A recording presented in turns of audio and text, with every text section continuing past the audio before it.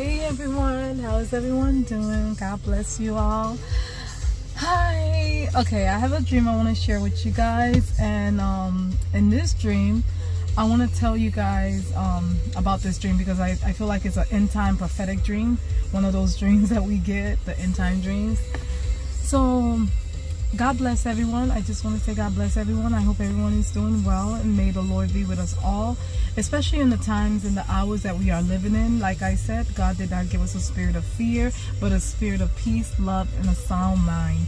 So I wanted to share a dream I had with you guys this weekend. Not this weekend, I had it last week. I think Monday or Tuesday. So this is a dream I had, right? In this dream, I was in my car, same car, same. This, this is the same car I was in. I was in my car, and um, I had some groceries in the back and everything. And I, you know, I pull up to my parking, and I noticed there was a car in my parking. So I went to go remove the car. As I left my car to go remove the car with the keys stuck in the car, and I was on the phone by the way. I was on the phone with one of my friends, and um, so as I'm in the phone, I I went to go move the car because someone was in my parking, right? And as I'm leaving, I left my car wide open with the keys in it, like an idiot, to remove that car so I can move my car in. And um, when I turn around, I noticed my car was gone. It was gone. I was like, oh my goodness, my car is gone. Someone stole my car and they took off with it. And as I'm saying this, I noticed one of the girls on my um, at my job. Her name is Venice. She was there talking to me and she was like, what's going on? And I was like, my car, somebody just took my car. They took off with the car. And it was like, okay, um, did they wire it? I was like, no, my keys was still in the car because I was trying to move my car into the garage and somebody was parking in my parking. So the whole point was um, she was like okay let me help you with that let's go out the outside um let's go towards the gate and see if we can catch up with your car so i'm walking towards the gate as i got through the gate i noticed the scenery of the dream was all of a sudden changing i'm like hold up all of a sudden at the gate right we're at the gate and all of a sudden i notice like the scenery changed, but I'm still with the same person. She's still there with me.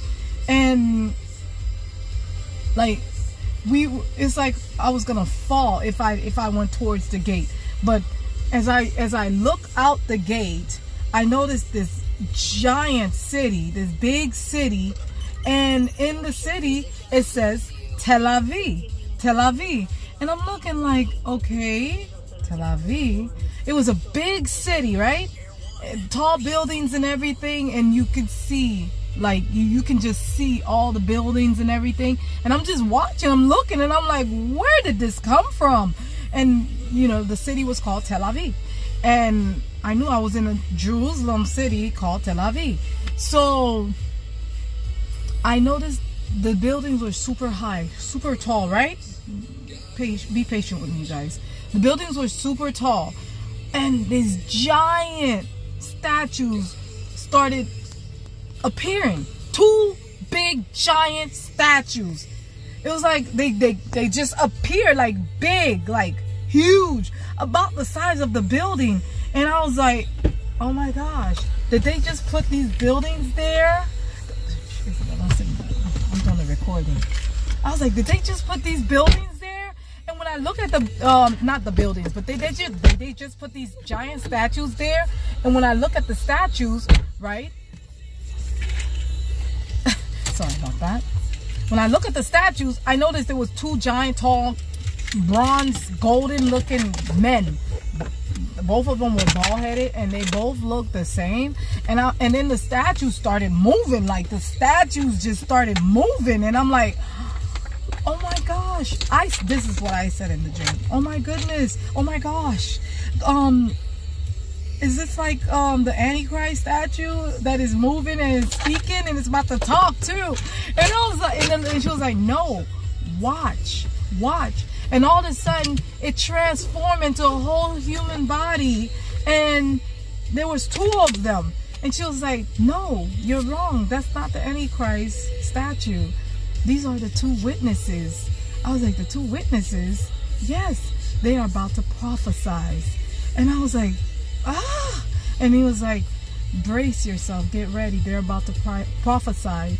And as soon as she said they were about to prophesy, I looked and they they they they, they were formed as like humans now and but they were huge they were really really big and there were two of them and they look like old school egyptian looking type of people i don't know but yeah that's what they were looking like. And they were just super big super tall and they were getting ready to prophesy. And then i woke up from that dream. Immediately i woke up from that dream and i was like oh no. We're about to be in revelation 11 the book of revelation 11 read that book. It talks about the two witness and the miraculous things they are the power that they are given. No one can come against them except for the antichrist. And when he came against them he was able to kill them. And they they they were not given any you know they were not given any burial. And people were walking among them and celebrating because they you know they torment them you know. They could send fire rain whatever. They can stop rain fire whatever you know the people were being oppressed by them because they were trying to preach the word of god the gospel of god to all of them you know. They needed to hear these words before the big judgment comes and then antichrist come he kills them. Three days later they rose and big earthquake happened and 7,000 um, people were killed and many were you know received christ afterwards. You know they received god afterwards.